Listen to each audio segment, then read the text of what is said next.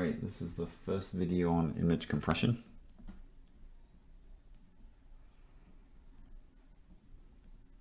So what I'm going to do in this exam in this video is just sort of talk a little bit about image storage, the way we'll look at it, talk about how um, how the SVD can be applied to this, and then do an example with a really, really simple image that we can just almost draw by hand, even though I'll have some nice pictures of it. So first thing is about uh, storing an image. So there are a variety of ways that this can be done. And so what we're going to do to keep things simple um, is we're going to stick with grayscale images, so no colors. And all the grayscales that we use will be, so basically what we'll do is we'll, we'll take an image and we'll break it up into pixels and we'll store each pixel as a value between zero and one, where one is white. So think of it as being one is on when the light is on in the pixel and zero is off. So an image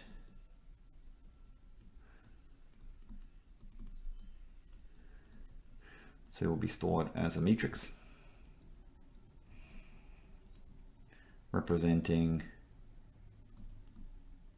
pixels. So uh, each pixel or each, um, let's say, element of the matrix, which represents a pixel. So we'll say representing a pixel.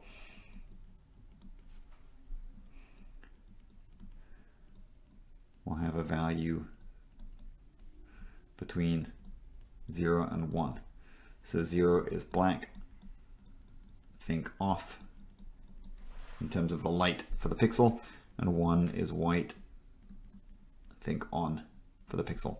So for example, a really simple picture like uh, 9 by or 3 by 3. Suppose you had a grid like this, and all you could do is fill in those. So maybe you wanted to indicate the letter X. It's not the best image, that's okay. We'll do a better one in a minute. This will be represented by the matrix 0, 1, 0, 1, 0, 0, oops, sorry, 1, 0, 1, 0, 1, 0. So in that sense, we can play around with the matrix and see what's going on. Right? So the question then comes up is what does it mean to compress the image?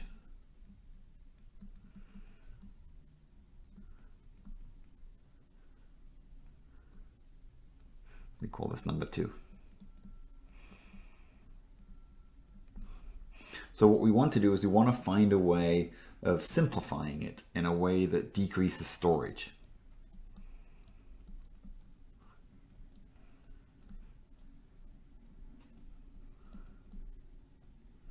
So this is simplified to decrease storage requirements.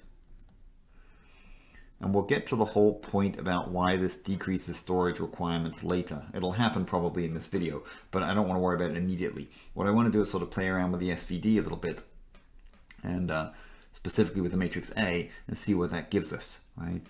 So let's say this is 3 applying the SVD to A. So think about what happens when we do this. So it's worth taking a trip back to realize what does the SVD do again, right? So the way to think about the SVD is to think about the following, right? What it does is it looks at the matrix and it tries to find the most important building blocks. And when we use that phrase, we mean columns, right? So the SVD finds, um, finds the most important building blocks. Meaning columns.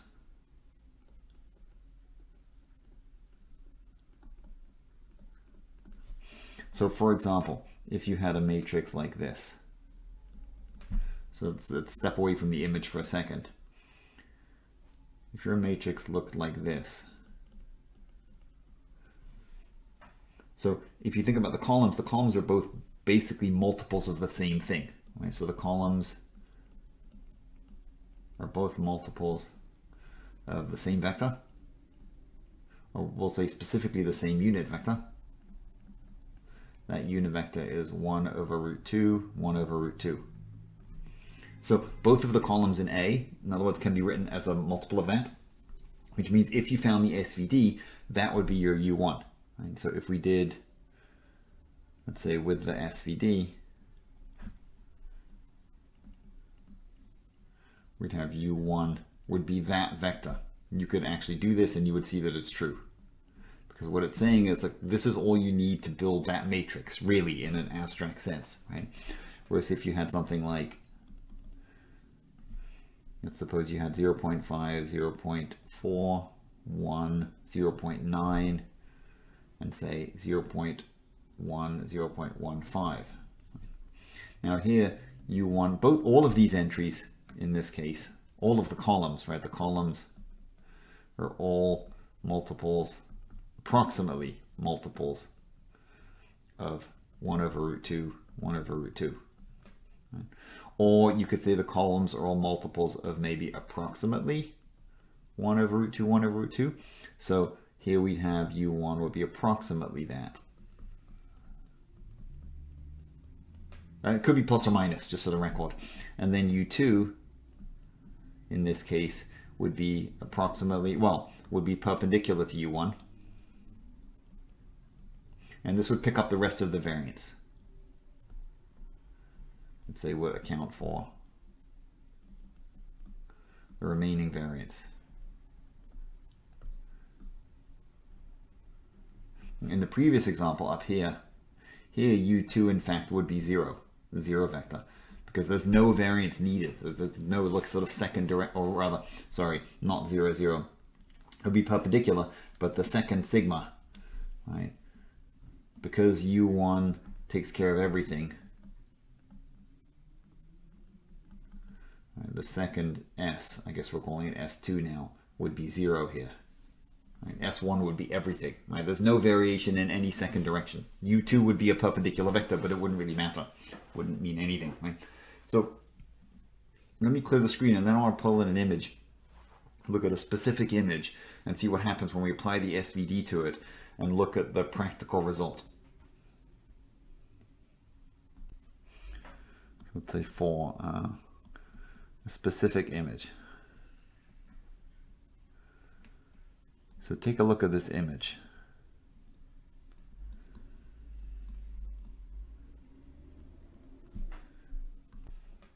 So this image can be stored as a matrix. This is 2 by 4. So this is the matrix 0.9. It's these so these are sort of 0.9, think of 0.9 as a really light gray because it's almost white. So we've got those first two columns. Then we've got some darker stuff. 0.5 is the darkest because that's heading towards black. And then 0.9, 0.9. So if we take the SVD for this,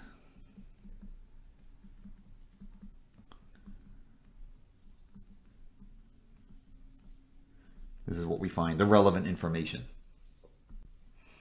So we get the U matrix, or rather, let's be really, really, yeah, I'll give, we'll give the whole U here. Might as well.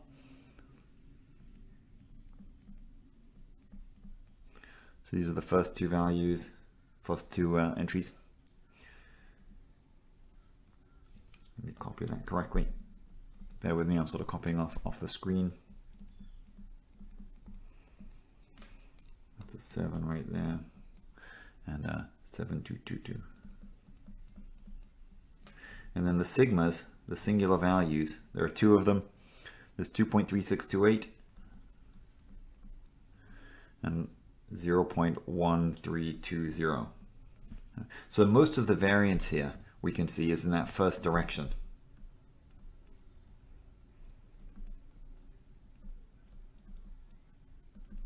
In fact, if you do the calculation, this actually contains 99.69% of the variance. So in fact, U1 accounts for 99.69% of the variance. So suppose we, we sort of delete the other singular value. So if we delete um, the 0.1320 and recalculate. So in other words, we do, let's say a prime, and we do u, we leave u alone, we take this new sigma. Now sigma, remember, is 2 by 4. So what we're doing here is we are deleting this entry right here. This is what we get. So it's worth writing this out just to a couple of digits.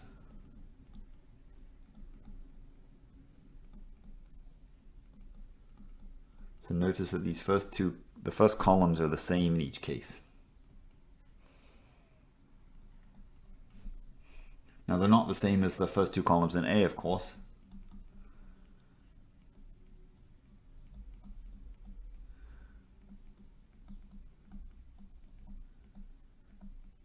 But it is worth taking a moment to notice that these are approximately the same. Which is the whole point, right? We're sort of accounted for most of the variance, right? So if we draw this image,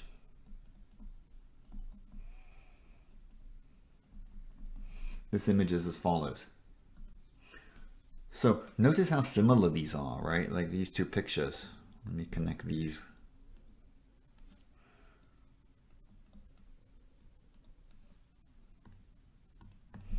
Right, they're about the same. Notice that we've lost a little bit of the fact that in the original image, the like the top and the bottom of the first three columns are, let me mark that up, like here, these are the same. That's a bad color to see. Let me use a different color. Um, here in that first image, these are identical, these are identical, these are identical. This is darker and this is lighter. Over here, they're not so identical, not so identical, not so identical. Still darker, still lighter. So it's still picked up sort of most of the variation, right? This is close. Now, so what's noticeably different about it though, cal calculation wise, is in this new matrix, and this will sort of get to the point of where the image compression comes in. If we take a trip back to, or if we look at um, this A prime that we've listed right here, the thing to notice here is that because we only want preserved one singular value, right, in A prime, let me say in A prime, all columns are a multiple of U1. Right? In other words, what we've said is that this U1 over on the left, right here, that is the only building block we need.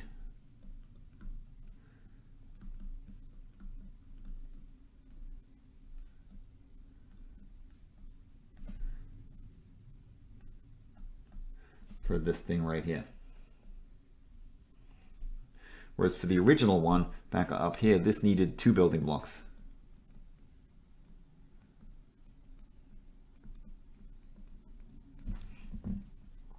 But the images are approximately the same, right? Like at a glance, you might think that the second one and the first one are more or less the same, right? For all intents and purposes, you might not care about the difference.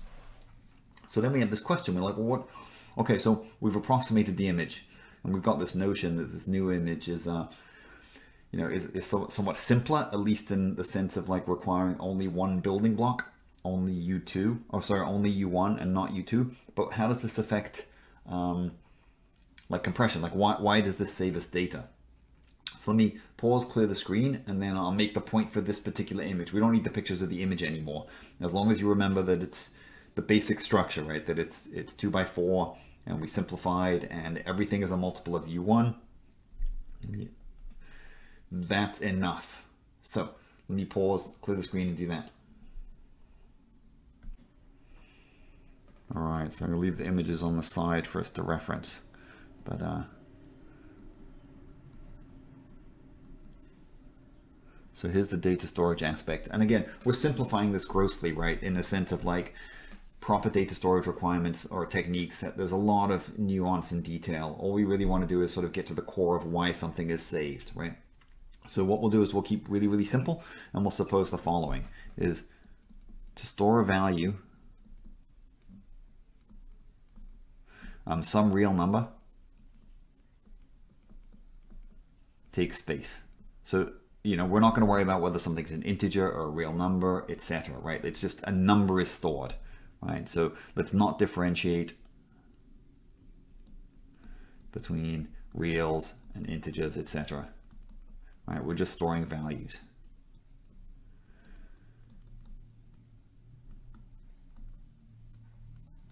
So we over here on the right, we have our A. That's the image for A, and we have A prime. Now, think about to store A.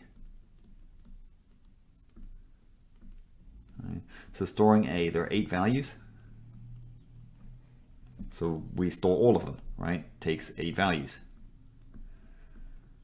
That's a little uh, redundant, but that's okay. Now think about storing B, or A prime rather. It's a little bit different, right? So you might still think like, well, there are eight values. And we go, yeah, yeah, but let's store it a different way.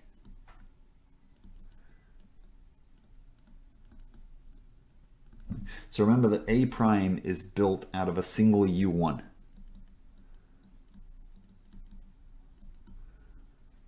Right? Every column is a multiple of that.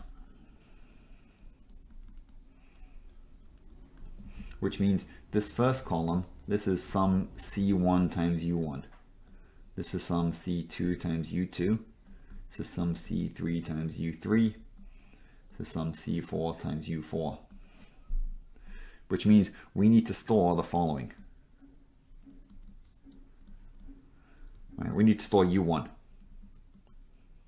Right, that takes two values because it's a vector in R2. Then we have to store C1, C2, C3, C4. That's four values. Because the way we're thinking about it is that the algorithm that puts the picture back together will know that it needs to take C1 times U1, C2 times U1, C3 times U1, and so on. So the total here is six values. So what we've effectively done by doing this is we've reduced it. Right, we've reduced the data storage.